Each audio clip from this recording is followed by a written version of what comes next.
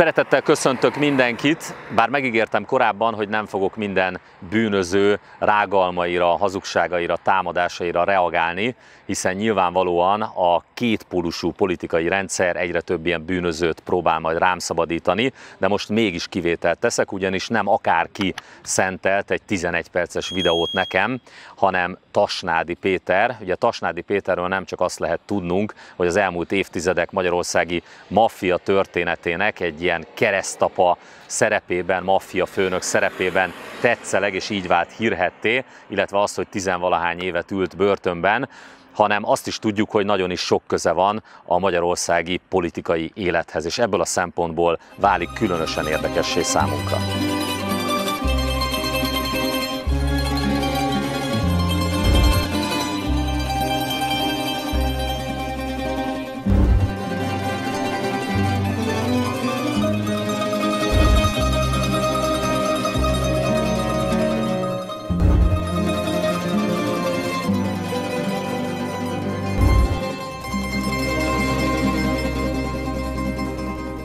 Tasnádi Péter videójának tulajdonképpen csak egyetlen részletére kívánok reagálni, a többi az a véleménye, meg persze gyalázkodás, de hát ahhoz egyébként neki is joga van, de amikor azt mondja, hogy bennem egyetlen egy csepp magyar vér sincsen, az azért egészen elképesztő, és különösen pikáns, van azért annak egy diszkrét bája, amikor ezt egy száz százalékig zsidó ember mondja. Természetesen Tasnádi Péternek joga van ahhoz, hogy megélje a zsidóságát, hogy zsinagógába járjon a templom helyett, de akkor hagy legyen nekem is jogom ahhoz, hogy magyarként éljek a saját hazámban. És hogyha egyébként az összes ősöm közül csak egyetlen egy lett volna magyar, itt a mögöttem látható Szilágyi Mihály, aki Nándorfehérvár várkapitánya volt Magyarország kormányzója, én azt gondolom akkor is nyugodtan valhatnám magam magyarnak. Hát ehhez képest azért az őseimnek legalább 80-90 százaléka magyar volt, vagy magyar származású volt, tehát Tasnádi Péter valami egészen elképesztő baromságokat, hülyeségeket, butaságokat mond a videójában. Például azt mondja, hogy édesapám szerb, hát szegény édesapám itt született Szegeden, és édesapámnak az apját telepítették ki pont a szerbek délvidékről 1920-ban, tehát a trianoni békediktátum évében, pontosan azért, mert magyar volt. Édesanyám nem román, édesanyám is itt született Szegeden, és édesanyám ízigvérig magyar asszony, akinek a fölmenőit szintén a románok telepítették ki Erdélyből, pont azért, mert magyarok voltak Trianon után, tehát Tasnádi Péter hihetetlenül vagy nem ismeri a magyar történelmet, vagy direkt próbál hazudni. Aztán azt is mondja, hogy a nagyapám örmény volt, hát szerencsétlen családomat már tényleg ízig, vérig mindenhogy szétszették. Ugye a déd nagyapámról van szó, arról a Tucsek Gusztáv Vazúról, akiről már külön videóban is beszéltem, és éppen az ő édesanyja volt Székelyföldvári Szilágyi Izabella, akin keresztül leszármazottja vagyok Szilágyi Mihálynak is, de valóban az apai ágon 1722-ben Szamosújváron volt egy örmény őse, tehát körülbelül olyan 0,1 ezeléknyi örményvér lehet is bennem, semmi gondom ezzel nincsen. A világ történelemben az első keresztény állam éppen Örményország volt, de hát azért messze nincs bennem annyi örményvér, mint mondjuk Pongrác Gergelyben, aki Szamosújváron, Ármenopolisban, örményvárosban született, 1956-os parancsnok a Korvin köz parancsnoka, és még azt is mondja Tasnádi Péter, ami kivételesen nem az ő hibája, hogy a, ennek a dédnagyapámnak a felesége, tehát a dédnagyanyám roma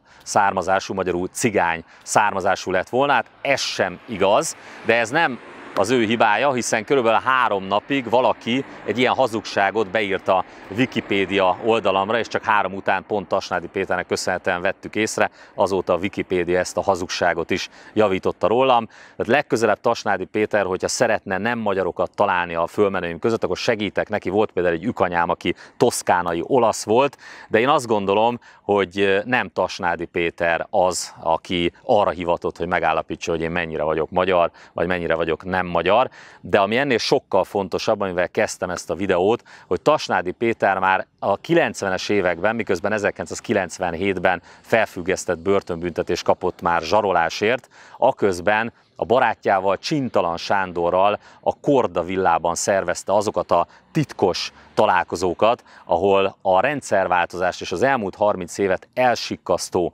politikai elit, illetve a médiát irányító régi posztkommunista, illetve későbbi balliberális újságírókkal alakították a magyar politikai életet, és tulajdonképpen ők azok, főként Csintalan Sándor, Tasnádi Péter politikus barátja, akik kialakították azt a kétpólusú politikai rendszert, amelyet most mi, a mi hazánkkal, a harmadik úttal támadunk és megpróbálunk lebontani, amiről megpróbáljuk a magyar embereket meggyőzni, hogyha fönnmarad ez a kétpólusú rendszer, a balliberálisok és a Fidesz hatalma, akkor semmi sem fog Magyarországon alapjaiban megváltozni. Na ennek a rendszernek az igazi főszervezője, a Tasnádi Péter által szervezett találkozók egyik fő politikusa volt az a Csintalan Sándor, akin keresztül látjuk is ennek a mocskos, elsikkasztott rendszerváltozásnak és az elmúlt 30 esztendőnek minden kínját és baját.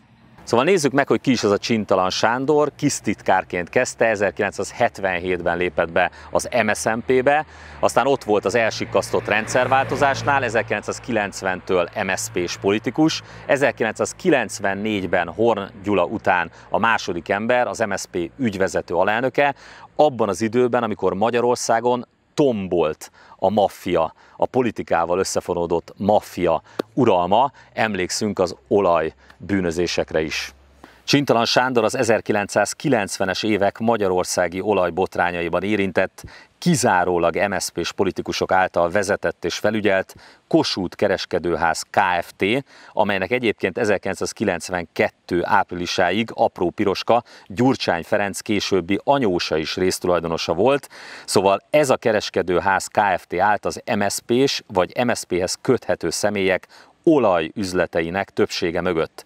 A Wikipédia szerint a cég tevékenységeinek akadozásakor állítólag mindig csintalan Sándor járt el személyesen, hogy rendben menjenek a dolgok.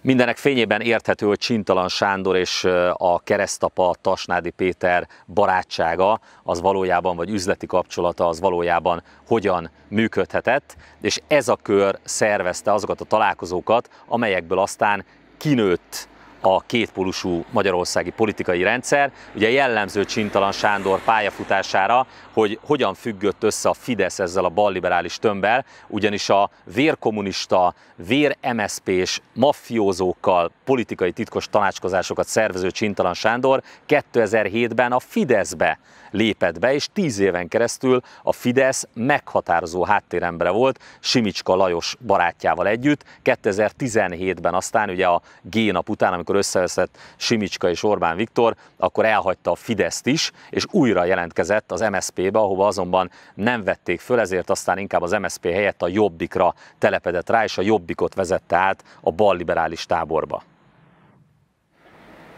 Bevallom őszintén, hogy mindezek után, mivel Csintalan Sándor és az ő köre olyan hihetetlenül sokat ártott a hazámnak és a magyarságnak, hogy nem tudtam őszintén sajnálkozni, amikor 2007-ben a hivatalos vádiratok szerint egyébként a magyarok nyilai felszabadítási hadsereg összeverte ezt a Csintalan Sándort, ugyanis minden bajunk, a nemzetünk, a népünk összes problémája valójában abban gyökeredzik, hogy elsikasztották a rendszerváltozást, és kialakították ezt a kétpólusú politikai rendszert, amelyet mi, mi hazánkosok most le akarunk bontani.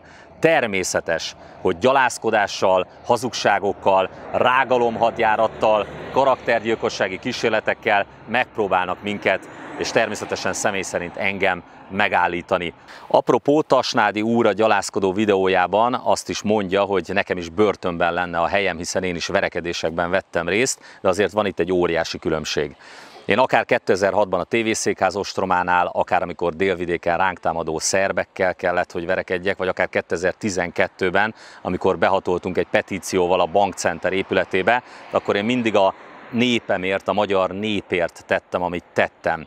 Ezzel szemben ő, miközben én jelenleg is a végrehajtó maffiával szemben hadakozom azokért a magyar emberekért, akiket megpróbálnak tönkretenni, kilakoltatni.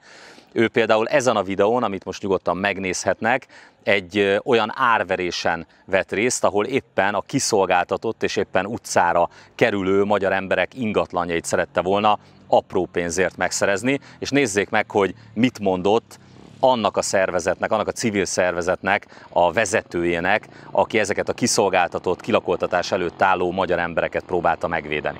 Örök vannak itt. Igen, de Pofázzál már annyit a franc egyenbe. Elvették a fotózkártyáját. Miért nem intézkednek ezt a, ezt a kutyát, miért nem dobják? Tasnádi Péter személyesen most azt, azt ígérte, hogy letépi a fejemet. Hogy kerül ide Tasnád úr? De azt nem tudom, engem kutyának minősített, és azt mondta, hogy kinyír. Két rendőr már bent van. Nem akartak beengedni, de bementünk, és nem voltak hajlandók visszaadni a kártyát. De ezen gondolkodjanak, hogyha egy árverezés, ahol többek között egy 72 éves idős asszonyt akarnak kirúgni a kis utolsó otthonából, menedékéből, ehhez az árverezőház Kft. a Tasnádieik szövetségét kéri, akkor mi, van, mi folyik itt? Lehet ezt tűrni? Ez, a, ez, az általános, ez az általános tapasztalatunk, hogy bármilyen árverezésen megjelenünk, ott van a maffia. Tasnádi Péter a 90-es évek elején nem Turulról vagy a szittyákról nevezte el a sportkörét, hanem Makkabi sportkör néven próbálta azokat a kiváló magyar sportolókat összegyűjteni, akikkel aztán az imázsát igyekezett mindig javítani.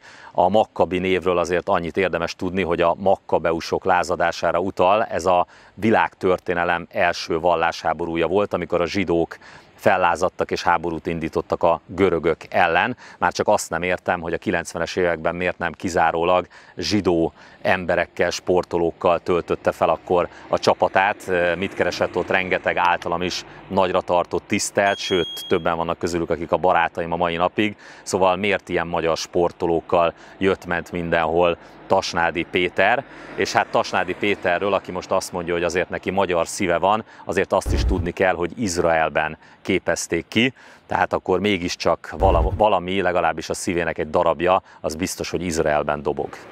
Nem lep meg tehát, hogy különféle bűnözőket uszítanak rám, hiszen mi éppen azt a kétpólusú politikai rendszert szeretnénk lebontani, amely az elmúlt évtizedekben Magyarországot tönkretette. De azt üzenem ezeknek a bűnözőknek, hogy rövid úton vissza fognak kerülni a börtönbe, hogyha megpróbálnak az utunkba állni. Senki, sem az őket küldő politikusok, sem a bűnözők nem fogják tudni megállítani a harmadik utat, nem fogják tudni megállítani a mi hazánkat. Mi megyünk tovább a megkezdett úton a hazánkért, a magyar nemzetért.